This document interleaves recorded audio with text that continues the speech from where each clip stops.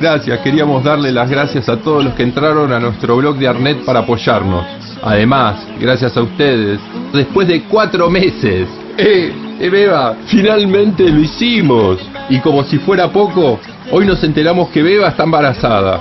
Sepan que no solo salvaron un matrimonio, sino toda una especie. Fue increíble. Lo de salvar una especie. Y lo otro también.